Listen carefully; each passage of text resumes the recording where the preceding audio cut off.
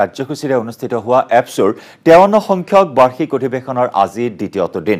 অধিৱেশনস্থলীলৈ পুৱাৰে পৰা সমাগম ঘটিছে ৰাইজৰ।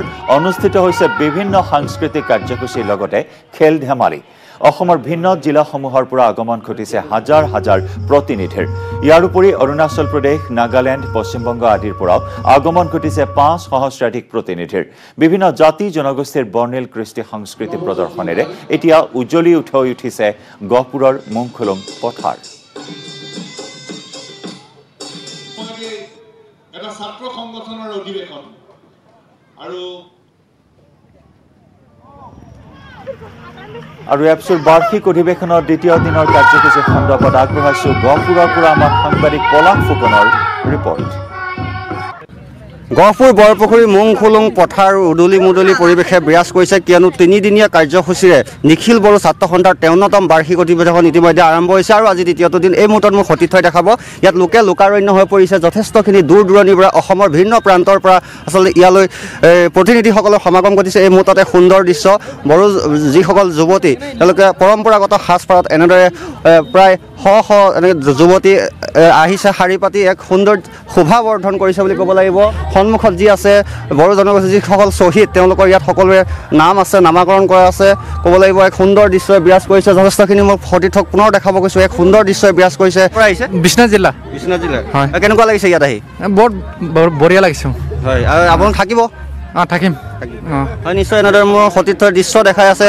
এক আনন্দমুখৰ পৰিৱেশে বৰ্তমান বিৰাজ কৰি আছে। এয়া মুং খুলুং পথাৰৰ দৃশ্য গহপুৰৰ দৃশ্য গহপুৰত নিখিল বড়ো ছাত্ৰ সন্থাৰ তেৱন্নতম বাৰ্ষিক অধিৱেশন ইতিমধ্যে চলি আছে আৰু বিভিন্ন প্ৰান্তৰ পৰা অসমৰ বহিৰাজ্যৰ পৰা লোকৰ সমাগম ঘটিছে।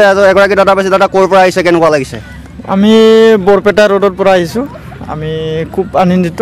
আজি বহুত দিন আগত মানে আমি তাতে আশা নাছিলোঁ আজি আহি পালোঁ। কিমান আহিছে বৰপেটাৰ পৰা? আমি বৰপেটাৰ পৰা এনে বৰ্তমান নজন আহিছোঁ আমি আঞ্চলিক হয় আৰু বাকীবোৰ সন্তেক পিছত আহি আছে আহোন আহিব মানে ৰাতিলৈকে আহি পাব। যিহেতু বি টি আৰ নতুন চি এম প্ৰমোদ বড়ো নতুন শাসনৰ গাদীত বহিছে কি- ক'ব এই মুহূৰ্তত?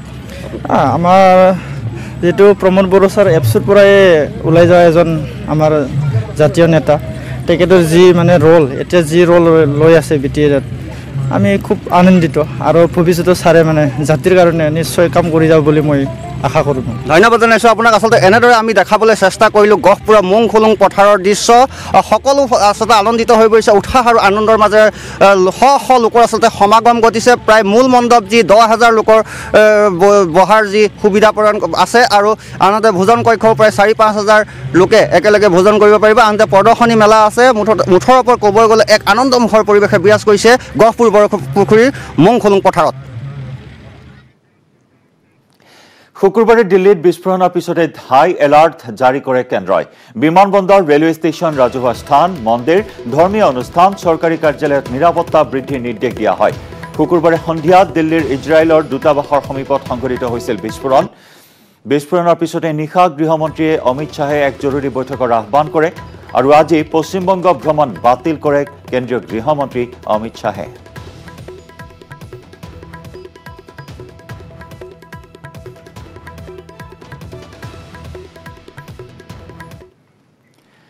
ফেব্ৰুৱাৰীৰ প্ৰথম সপ্তাহৰ পৰা দেশত আৰম্ভ হ'ব কৰোণা ভাইৰাছৰ দ্বিতীয় পৰ্যায়ৰ টীকাকৰণ অভিযান। দ্বিতীয় পৰ্যায়ৰ অভিযানত স্বাস্থ্যকৰ্মী ফ্ৰণ্টলাইন কৰ্মীৰ লগতে পঞ্চাছ বছৰ ঊৰ্ধৰ ব্যক্তিক সামৰি ল'ব।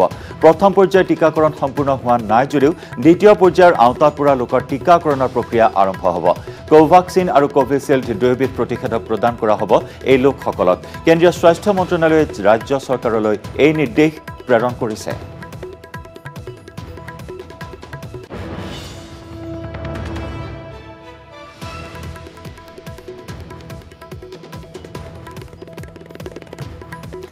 একেদিনাই ৰাজ্যৰ তিনি স্থানত আয়কৰ বিভাগৰ বৃহৎ অভিযান গুৱাহাটীৰ পৃথানীৰ কাৰ্যালয় আৰু ঘৰত চলিল আয়কৰৰ তালাচী আনহাতে তেজপুৰৰ ঠিকাদাৰ বাবুল নাথৰ ঘৰতো চলিল আয়কৰৰ তালাচী। আনহাতে প্ৰতিষ্ঠিত ব্যৱসায়ী তথা অসম প্ৰদেশ কংগ্ৰেছৰ অন্যতম সাধাৰণ সম্পাদক প্ৰদ্যুৎ ভূঞাৰ নলবাৰীৰ বাসভৱনত আয়কৰ বিভাগৰ অভিযান। নলবাৰীৰ গোপাল বজাৰত থকা তেওঁৰ বাসভৱনত আয়কৰ বিভাগৰ পাঁচজনীয়া এটা দলে চলাই অভিযান। সমান্তৰালকৈ তেওঁৰ গুৱাহাটীৰ ব্যৱসায়িক প্ৰতিষ্ঠানসমূহতো অভিযান চলায় আয়কৰ বিভাগে। প্ৰদ্যুৎ ভূঞা নলবাৰী সমষ্টিৰ কংগ্ৰেছৰ টিকটৰ প্ৰবল দাবীদাৰ। ৰাজ্যৰ আগশাৰীৰ ব্যৱসায়ী পৃথানীৰ গুৱাহাটীৰ সাম্ৰাজ্যতো আয়কৰ বিভাগে চলাই অভিযান। পৃথানীৰ ঘৰ আৰু ব্যৱসায়িক প্ৰতিষ্ঠানতো অভিযান চলাই আয়কৰ বিভাগে।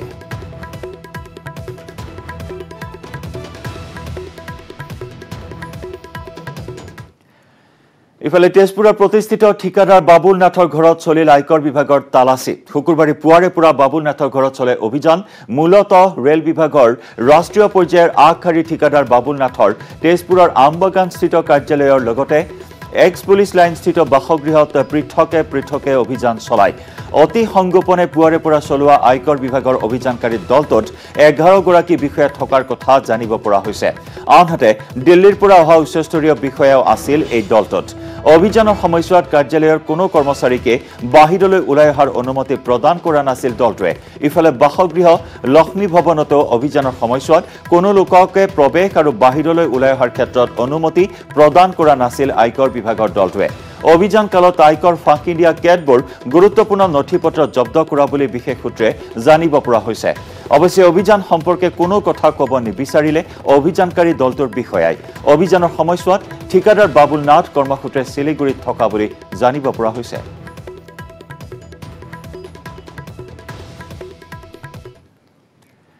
কাজিৰঙা ৰাষ্ট্ৰীয় উদ্যানৰ এক শিহৰণকাৰী দৃশ্য পৰ্যটকৰ বাহনলৈ চোঁচা ল'লে বন্য হস্তীয়ে কাজিৰঙা ৰাষ্ট্ৰীয় উদ্যানৰ অগৰতলী বনাঞ্চলত জীপ চাফাৰী কৰাৰ সময়তেই এক ভয়ানক পৰিস্থিতিৰ সন্মুখীন হ'ল পৰ্যটক। আমি দেখুৱাইছো এই শিহৰণকাৰী দৃশ্য। কাজিৰঙা ৰাষ্ট্ৰীয় উদ্যানৰ আগৰাতলী বনাঞ্চল দৰ্শন কৰিবলৈ যোৱাৰ সময়ত একাধিক জিপচি গাড়ীৰ সন্মুখীন হয় এজাক বন্যহস্তীৰ। বন্যহস্তীৰ জাকটোৱে চোঁচা লয় পৰ্যটকৰ গাড়ীলৈ। হাতীৰ আক্ৰমণৰ পৰা কথম্পি প্ৰাণ ৰক্ষা পৰে দলটোৰ। অভিজ্ঞতা সম্পন্ন চালকজনৰ বুদ্ধিমত্তাৰ বাবেই কোনোমতে ৰক্ষা পৰে পৰ্যটকসকল। এই শিহৰণকাৰী দৃশ্য বন্দী হ'ল এজন পৰ্যটকৰ কেমেৰাত। ইতিমধ্যে ছ'চিয়েল মিডিয়াত ভাইৰেল হৈছে শিহৰণকাৰী এই ভিডিঅ'টো কাজিৰঙা ৰাষ্ট্ৰীয় উদ্যানৰ অগৰাতলী বনাঞ্চলত ঘটিল এই শিহৰণকাৰী ঘটনা। একাধিক জিপচি জিপচি এনেদৰে একে শাৰীৰে পৰ্যটকক লৈ অগ্ৰসৰ হৈছিল আৰু তেনে সময়তেই বন্যহস্তীৰ জাকৰ সন্মুখীন হয় জিপচিৰ পৰ্যটকসকল। কিন্তু জিপচি চালকজনৰ বুদ্ধিমত্তাৰ বাবে অভিজ্ঞতা সম্পন্ন চালক হোৱাৰ বাবেই কোনোমতে প্ৰাণ ৰক্ষা কৰিবলৈ সক্ষম হয় পৰ্যটকসকলৰ পৰ্যটকৰ কেমেৰাত আবদ্ধ হৈছে এই শিহৰণকাৰী দৃশ্য যি দৃশ্য সম্প্ৰতি ছ'চিয়েল মিডিয়াত ভাইৰেল হৈছে